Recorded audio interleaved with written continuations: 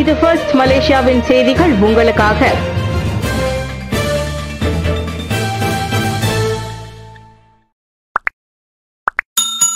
வழிப்பறி கொள்ளையின் போது பெண்ணை தாக்கிய நபர் கைது. கிளான் சென்டர் பாயிண்ட் வளாகத்தில் பெண் ஒருவரிடம் மேற்கொள்ளப்பட்ட வழிப்பறி கொள்ளையின் போது அவரை தாக்கி காயம் ஏற்படுத்திய வீடற்ற ஆடவர் ஒருவர் கைது செய்யப்பட்டார். அந்த நபர் ஏற்கனவே பதினாறு குற்ற செயல்களில் சம்பந்தப்பட்டுள்ளதாக வடகிழான் போலீஸ் தலைவர் எஸ். விஜயராவ் கூறினார். விசாரணைக்கு உதவும் பொருட்டு அந்த சந்தேக நபர் தடுத்து வைக்கப்பட்டிருப்பதாக அவர் தெரிவித்தார்.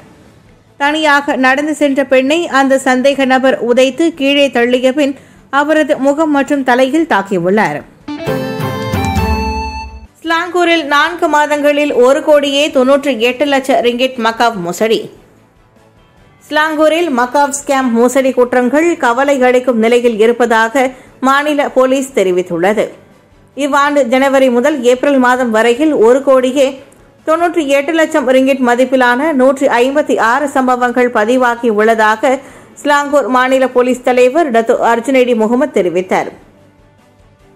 அரசாங்க ஊழியர்களாக மற்றும் அதிக அளவிலான பொருட்களை விற்பனை செய்யும் நபர்களாக இணையம் வாயிலாக பண பரிவர்த்தனை மேற்கொள்ளும் தரப்பினரிடம் ஏமாந்தவர்களே அந்த எண்ணிக்கையில் அதிகமாக உள்ளனர் என அவர் குறிப்பிட்டார். ஷாலாம் மாரா தொழில்நுட்ப பல்கலைக்கழகத்தின் கார் சுக் சிக்ஸ் எனப்படும் மாணவர்களிடையே போலீஸ் தன்னார்வ அதிகாரிகளின் நியமன சான்றிதழ் வழங்கும் நிகழ்ச்சிக்கு பின்னர் அர்ஜுனைடி அதனை தெரிவித்தார். இணைய மோசடியில் அதிகமாக பாதிக்கப்பட்டவர்களில் அரசாங்கம் மற்றும் வர்த்தக நிறுவனத்தின் ஊழியர்கள் என்பதை தமது தரப்பு மேற்கொண்ட கண்காணிப்பில் தெரிய வந்ததாகவும் அவர் குறிப்பிட்டார். அடுக்குமாடி கட்டுமான சுவர்களில் அசைவு பணிகளை நிறுத்த டிபிகேஎல் உத்தரவு.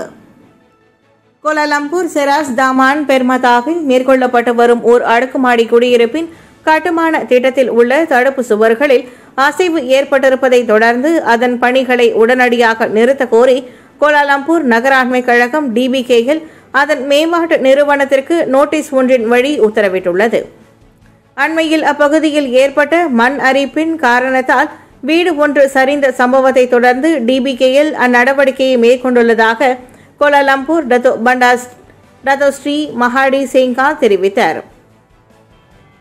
தற்போது அந்த தடுப்பு சுவரை வலுப்படுத்தும் பணியை அதன் மேம்பாட்டு நிறுவனம் உடனடியாக செயல்படுத்தவும் டிபிகேஎல் உத்தரவிட்டுள்ளதாக அவர் குறிப்பிட்டார். செராஸில் நடைபெற்ற செய்தியாளர்கள் சந்திப்பில் அவர் இதனை தெரிவித்தார். டிபிகேஎல் இவ்விவகாரத்தை மிகவும் தீவிரமாக எடுத்துக்கொள்வதாகவும் அவர் கூறினார். அதோடு தளத்தில் நிலைமை பாதுகாப்பாக இருக்கும் வரை தினமும் உள்கட்டமைப்பு திட்டமிடல் மற்றும் டிபிகேஎல் அமலாக்கத்துறை மூலம் கண்காணிப்பு நடவடிக்கைகள் மேற்கொள்வதாகவும் அவர் விளக்கினார். கணேசர் சிலையை குப்பை தொட்டியில் வீசிய ஆடவனுக்கு இரண்டாயிரத்தி ஐநூறு ரிங்கிட் அபராதம். ஜொகோர் செனாய் தாமான் சைன்டெக்ஸில் வீட்டின் முன் அலங்கார பொருளாக வைக்கப்பட்டிருந்த கணேசர் சிலையை குப்பை தொட்டியில் வீசி சென்ற ஆடவனுக்கு இரண்டாயிரத்தி ஐநூறு ரிங்கிட் அபராதம் விதிக்கப்பட்டது. முன்னதாக குழாய் மேஜிஸ்ட்ரேட் நீதிமன்றத்தில் கேப்ரிலா ஜுங்குக் அனாக் ஸ்டேவார்ட் எனப்படும் அந்த ஆடவன் தனது குற்றத்தை ஒப்புக்கொண்டான். உணவு கடையில் உதவியாளராக வேலை செய்து வரும் அந்த ஆடவன் அபராதத்தை செலுத்த தவறினால் மூன்று மாதம் சிறை தண்டனை விதிக்கப்படும் என மேஜிஸ்ட்ரேட் தெரிவித்தார். இதனிடையே இருபத்தி மூன்று வயதான அந்த ஆடவன் இதற்கு முன்பு வேறு வீடுகளின் முன் இருந்த அலங்கார சிலைகளை வீசியதோடு எரித்ததாகவும் நீதிமன்றத்தில் ஒப்புக்கொண்டான். உலக சுகாதார மாநாட்டின் உதவி தலைவர்களில் ஒருவராக கைரி நியமனம்.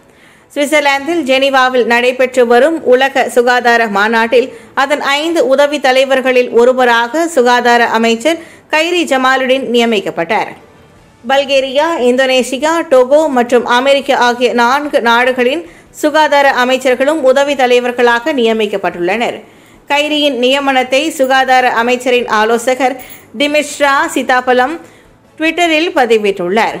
மேற்கு பசிபிக் வட்டாரத்திற்கான முப்பத்தி ஏழு நாடுகளை கைரி பிரதிநிதிப்பார்.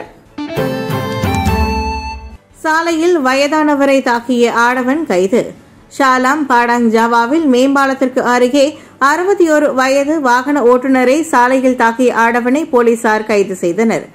நேற்று நண்பகல் மணி பனிரெண்டு அளவில் தாக்குதலுக்கு உள்ளான அந்த ஆடவர் போலீசில் புகார் செய்ததை தொடர்ந்து இருபத்தி மூன்று வயது மோட்டார் சைக்கிள் ஓட்டி கைது செய்யப்பட்டதாக ஷாலாம் மாவட்ட போலீஸ் தலைவர் துணை கமிஷனர் முகமது இக்பால் இப்ராஹிம் தெரிவித்தார்.